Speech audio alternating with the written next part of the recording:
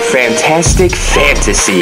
The Lord of the Rings, The Fellowship of the Ring, 2001. Oh wow, what a what a fantasy film this is. This is what I want to be in. I want to live in forever. Fantasy, fantastic for me. Uh, how could it not be?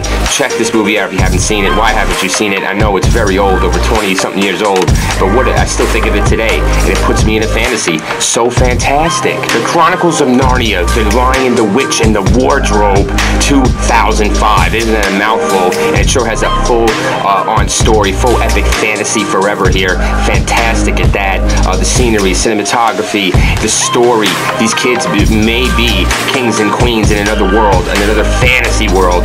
Whoa, uh, thank you, The Chronicles of Narnia. Ghostbusters 2, 1989. Yeah, I'm saying it, Ghostbusters 2 here.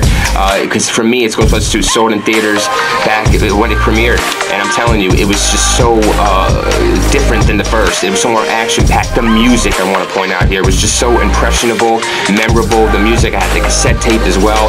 Uh, even the cooler, everything was cooler, bigger on scale, more fantasy, more forever for me. And it was so fantastic to see. The Fountain, 2006. Uh, man, Hugh Jackman, Rachel Weisz here. I mean, Weisz here. It's just whatever you want to call her. She's great, beautiful. Uh, it's a shame what happens to her in this film, but you see this fantasy that they put together. It, it, for me, it's a fantasy film of, of romance uh, completely. Uh, what a story they tell. Complete fantasy. I love it. Uh, it's fantastic. Look at these words I'm using, these F words I'm using, um, and you will enjoy it as well. It's forever for me. Uh, the music is, is, is, one of a kind. Clint Mansell, he, he's a composer here. You will not forget this soundtrack, this music, this movie.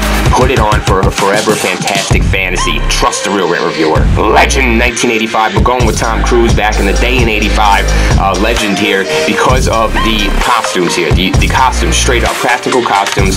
This devil thing here, I believe it's Mr. Curry, Tim Curry. I don't, don't hold me to it, but I didn't want to know who it is, but pretty sure it's him behind that makeup. You don't even know who it is. He's huge. He's beastly. They have a lot of other goblins and ghouls in here with, with practical mechanics. Uh, it's just so good for 85 and today. It's a forever fantastic fantasy legend. Check it out.